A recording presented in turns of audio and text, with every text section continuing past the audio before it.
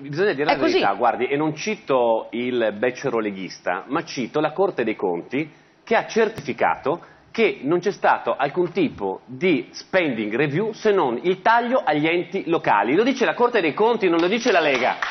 E quindi la loro spending review è stato un taglio ai servizi o un aumento di tasse degli enti locali. Diciamo le cose come stanno. Avete voluto finanziare una politica che poi in, in buona parte io non condivido, ma quello dopo sta nelle scelte politiche, però l'avete finanziata facendo fare quello che te dicevi prima, ovvero ai sindaci, gli esettori, gli sceriffi di Nottingham. Il problema è che dopo ci rimettono le famiglie, perché quando non hanno soldi per pagare l'aumento delle tasse sulla casa, quando non hanno i servizi magari di scuola, bus per i propri figli da portare a scuola, quando si vedono magari i servizi del trasporto pubblico locale aumentati o tagliato, è una scelta politica del governo che sta facendo. Allora, De Micheli, aspetti perché- Allora, sanitarie.